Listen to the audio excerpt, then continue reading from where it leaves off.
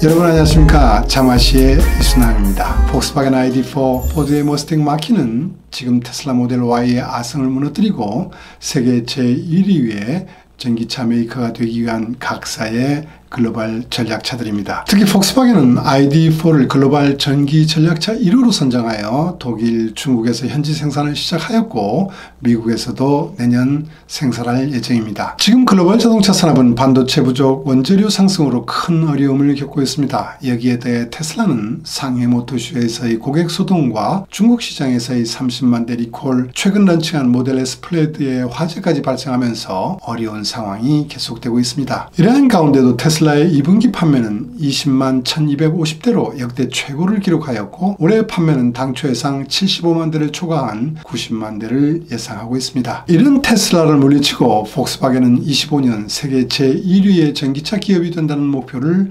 설정하였습니다. 과연 가능할까요? 여러분들은 어떻게 생각하고 계십니까? 테슬라 타도를 외치고 있는 폭스바겐의 전략차 ID4의 지역별 판매 상황 분석을 통하여 테슬라와 폭스바겐 전쟁이 앞으로 어떻게 전개될지 한번 점검해 보겠습니다. 구독과 좋아요 부탁드리면서 자 본격적으로 시작하겠습니다. 폭스바겐 그룹의 최대 시장은 중국입니다. 그리고 두 번째 시장은 예상할 수 있듯이 서유럽 시장입니다. 폭스바겐 그룹이 작년 전기차 판매는 23만 1600대였습니다. 그러나 테슬라의 50만 대와 비교하면 한참 떨어집니다. 올해도 그 격차는 아직도 큰 편입니다. 전략 차종 ID4의 1월부터 5월까지의 글로벌 판매 대수는 26,271대로 5위입니다. 테슬라 모델 Y 판매 대수의 25.8% 수준입니다.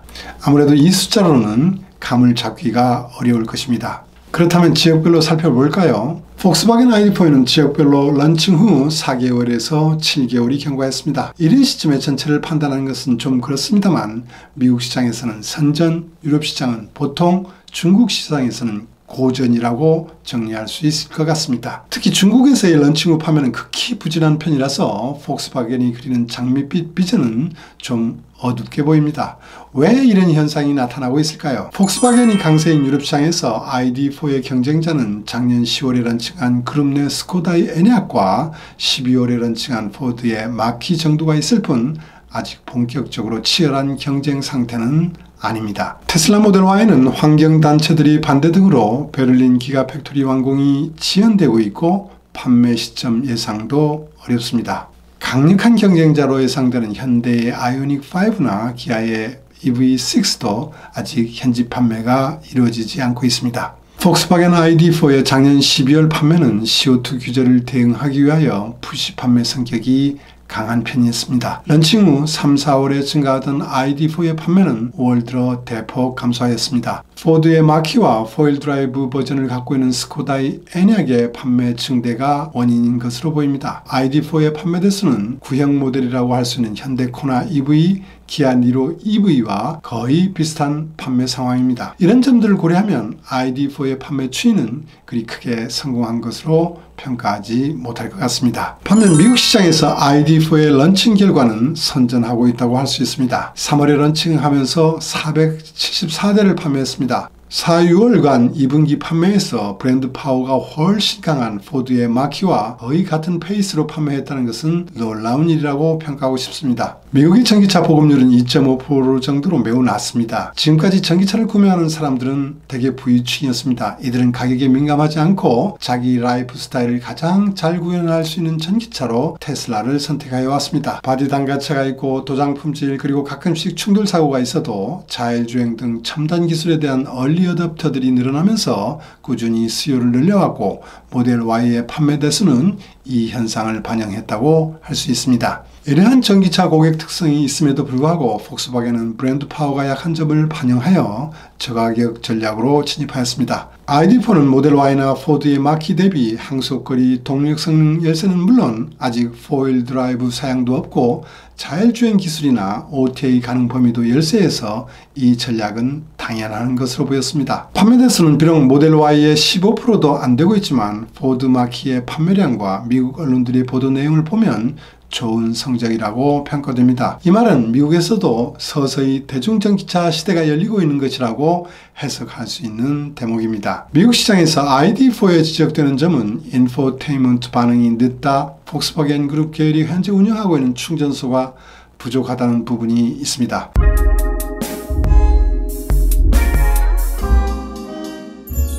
폭스바겐 그룹은 2023년까지 8차종이 ID 시리즈를 투입할 예정으로 이렇게 하여 2025년까지 전기차 판매 시효를 35%까지 확대한다는 계획입니다. 폭스바겐은 20년 11월 말 중국에서 전기차 ID4 크루즈와 ID4X의 현지 생산을 개시했다고 발표했습니다. 두 차종 다 ID4를 기본으로 중국 현지에 맞게 약간 차별을 하는 모델로 포시안 공장과 안틴 공장에서 생산을 시작했습니다. 포시안 공장과 안틴 공장을 합쳐 연간 생산 능력은 약 60만 대가 됩니다. ID4 크로스는 1기 폭스바겐이 올 2월부터 ID4X는 상기 폭스바겐이 올해 3월부터 판매를 개시하였습니다. 그런데 이들 공장에서 생산하고 있는 ID4 크로스와 ID4X의 5월 합계 판매는 1349대로 매우 작은 편입니다. 4월 판매 대수보다도 295대가 작습니다. 물론 반도체 부족 영향도 있을 것입니다만 모델 Y의 12728대, 니오 ES의 3017대보다 훨씬 작습니다. 이렇다면 중국에서의 폭스바겐 ID4의 신차 런칭은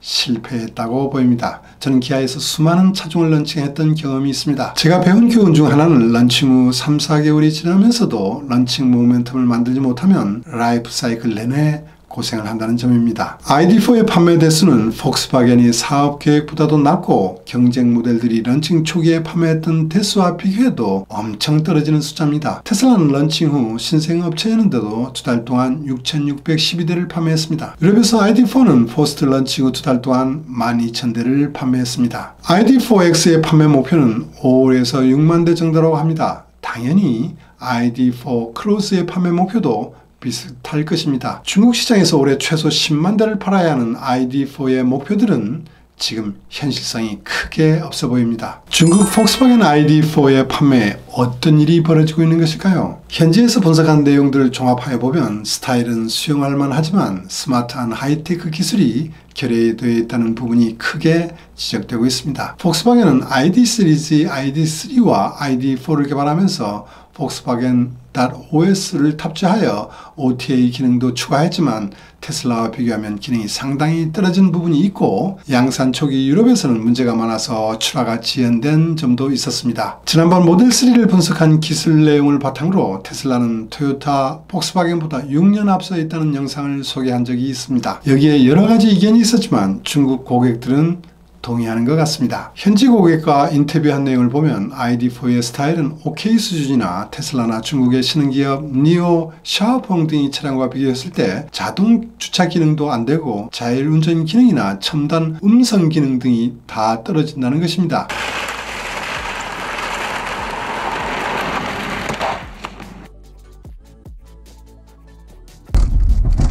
브랜드 파워가 강한 폭스바겐, 토요타, 혼다 등은 JNB 기술과 신뢰성을 바탕으로 내연 기관차 판매에서 높은 판매를 기록해왔습니다. 그렇다면 중국 고객들이 전기차 구매 기준이 변하고 있는 것일까요? 중국 고객들은 과거와 달리 하이테크 기술이 적용된 전기차에 열광하고 있으며 대신 브랜드 loyalty의 중요성은 낮아지고 있다고 오토 포사이트의 장 아레시는 말하고 있습니다. 지난번 영상에서 소개했지만 중국의 Z세대들은 자동차를 단순한 이동수단이 아니라 테크놀로지 device의 하나라고 스마트 기능이 있는 이동 공간이라고 인식하는 비율이 늘어나고 있다는 조사 결과도 궤를 같이 하고 있다고 보입니다. 어쨌든 큰 변화라고 하지 않을 수 없습니다. 전기차 런칭에 뒤늦은 토요타 혼다도 테슬라와 같은 혁신적인 기술이 없다면 고전이 예상되는 대목입니다. 두 번째는 테슬라와 중국의 신전기차 메이커와 비교했을 때 전기차 런칭 시점이 늦었다는 점입니다. 중국의 신생 전기차 업체들은 18년부터 테슬라는 19년부터 런칭한 점을 고려하면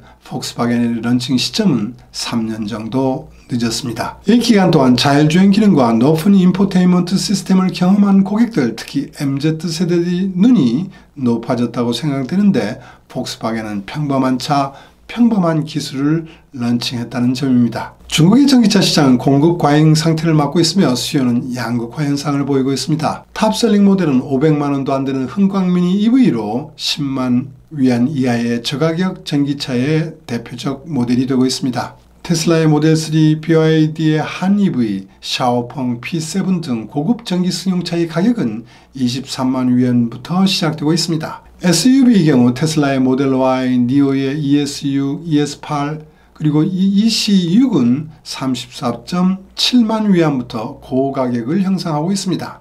폭스바겐 ID 시리즈는 중국 내에서도 대중 고급차 가격을 지향하였습니다. 테슬라의 모델 Y나 니오의 ES6보다 훨씬 싼 19만 위안부터 포지셔닝 하였습니다. 그러나 가격과 함께 신기술의 컨텐츠 레벨도 중간 위치에 빠진 것으로 보입니다. 또 하나 살펴봐야 할 부분이 있습니다. 중국의 신생 전기차 업체들은 테슬라 판매 방식을 거의 따라하고 있습니다. 폭스바겐 딜러 협회는 이제 샤오펑, 니오 등은 물론이요. 스타트업, 네타의 딜러는 물론 세레스가 만드는 전기차를 파는 화웨이도 있고 아이웨이스도 있을 정도로 딜러 환경이 크게 변하고 있습니다. 상해 폭스바겐은 기존에 약 2,000개의 딜러 판매에 의존해 왔습니다. 폭스바겐도 전기차를 런칭하면서 테슬라 방식을 도입하여 폭스바겐은 ID 스토어라고 부릅니다. 쇼핑몰 등 주요 번화가의 쇼룸을 운영하지만 가격 할인 판매도 없으며 딜러의 재고를 갖지도 않은 방식을 채용하였습니다. 지금까지 딜러는 재고 압박을 받으면서 차를 팔아왔는데 판매에 대한 인센티브가 없어지면서 적극적으로 판매를 해야겠다는 의지가 약해졌다고 합니다. 월말 기준 12개의 ID 스토어를 갖고 있고 있고 연말까지 100개로 확대할 계획이지만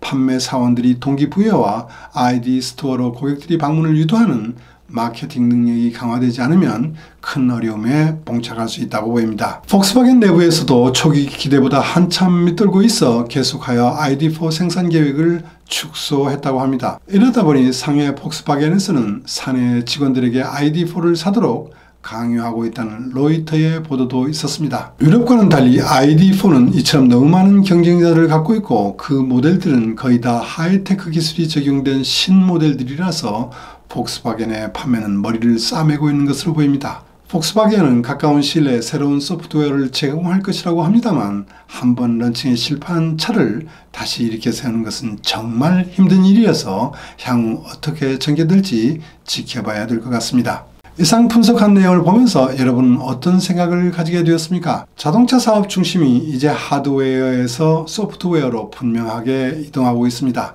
내연관에서 1등 했던 유산은 이제 더 이상 통용되지 않을 수도 있습니다. 코로나를 겪으면서 특히 중국에서 젊은 세대들을 중심으로 브랜드보다 하이테크 기술이 우선되고 있는 점도 있습니다. 파괴적 이노베이션의 대명사 테슬라와 테슬라 기술을 자체해온 니오 샤오펑 등도 다이내믹하게 변하는 중국 시장에서 주도권을 잡아가고 있습니다. 이들은 멀지 않아 기존 글로벌 업체의 리더였던 폭스바겐과 토요타들과 정면에서 만나게 될 것으로 보입니다. 폭스바겐은 29년까지 70개의 전기차 모델을 개발하는 인해 전술이 아닌 차해 전술을 발표해 왔습니다. 그러나 여기에 스마트한 기술이 없다면 그 결과는 참담할 것으로 예상됩니다. 중국에서 공장까지 매각하면서 구조조정을 추진하고 있는 현대차 기아에게도 주는 교훈은 있었다고 생각됩니다. 오늘은 여기까지 하겠습니다. 들어주셔서 감사합니다.